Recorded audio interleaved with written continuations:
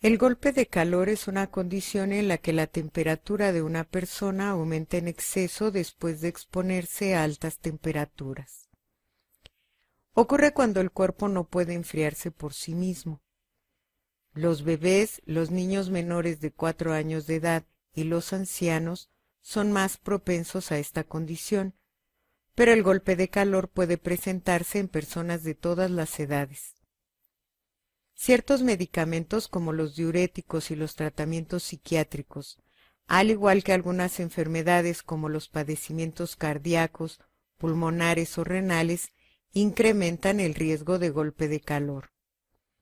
Algunas señales y síntomas del golpe de calor son los siguientes. Confusión, mareo, fatiga, orina de color oscuro, dolor de cabeza, náusea, calambres musculares, sudoración excesiva y taquicardia. Si no se trata apropiadamente puede agravarse hasta convertirse en insolación que afecta al cerebro y a otros órganos vitales.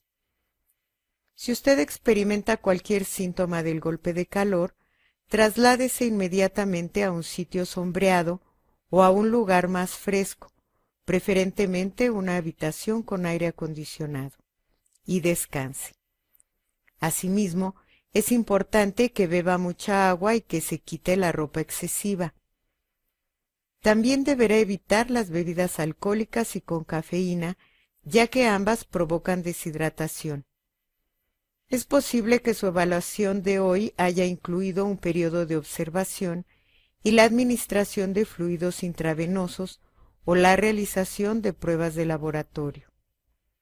Deberá acudir cuanto antes con su proveedor principal de servicios de salud a una consulta de seguimiento. Póngase en contacto con su consultorio para programar la cita. Se ha determinado que usted puede ser dado de alta sin riesgos. Es importante que permanezca en un lugar interior fresco y que beba mucha agua. Aunque no se ha encontrado nada grave en su evaluación de hoy, es indispensable que se ponga en contacto de inmediato con su proveedor de servicios de salud o que vuelva al área de emergencia en cualquiera de los siguientes casos.